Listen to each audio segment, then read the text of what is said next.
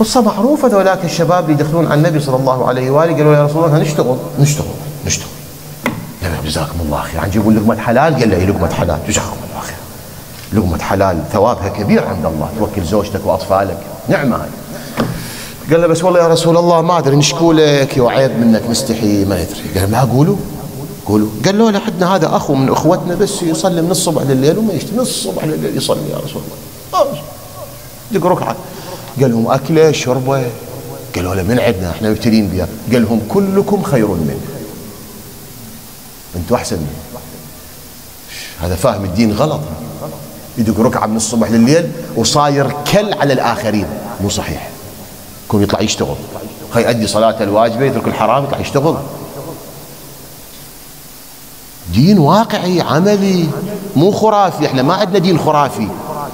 ما عندنا دين خرافي. إحنا دين خرافي إحنا ما عندنا دين وسطي واقعي عملي عقلاني محترم جعلناكم أمة وسطا القرآن الكريم يعبر أمة وسطا. أمة معتدلة مرتبة وعباد الرحمن. أقول آية متخمة. يعني كل كلمة من كلمات. هاي الآية إيش قد بيها شغل؟ إيش قد بيها شغل؟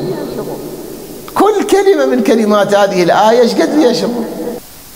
هي نفس العبادة. تجي بالقرآن الكريم مقترنة بأمور خطيرة وكبيرة ومهمة. يعني أكو شنو عبر تعبير آخر؟ أكو رسوم للعبادة في آيات القرآن الكريم. القرآن من يذكر العبادة في كل موارد ذكر العبادة يربطها بأمور مهمة.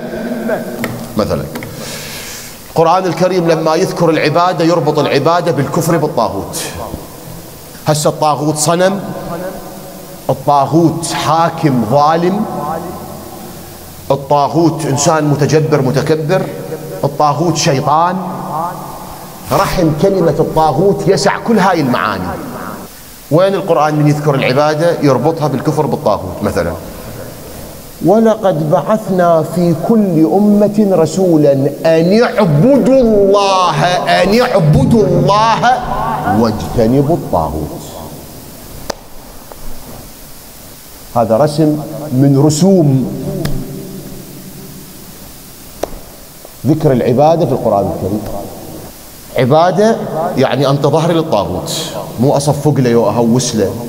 بل أعطيه ظهري وأعلن أو أو أو ما أعطي ولائي. ما أعطي ولائي. بل أتبرأ من أفعاله. إذا ظلم إذا سرق إذا قتل أقول اللهم إني بريء إليك مما يفعل هذا الظالم. حتى ما أكون شريكة يعني. عبادة مع كفر بالطاغوت. هذا رسم من الرسوم الموجودة في القرآن الكريم مثلا. رسم آخر عبادة وتقوى. اعبدوا الله واتقوه. والعبادة توصل الإنسان للتقوى إذا أداها بشكل صحيح. كتب عليكم الصيام. الصيام عبادة يوم عبادة. عبادة. كما كتب على الذين لعلكم تتقون. فالصيام العبادة وين يوصلنا؟ للتقوى. ولهذا شوف في آية غير هاي اعبدوا الله واتقوه. ترجمة ذلك آية الصيام. هذا رسم ثاني.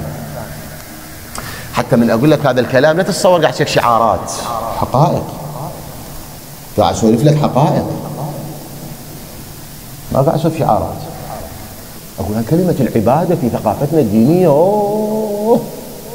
إيش تحمل من كلام؟ مو بسهولة هذه الأمور يعني.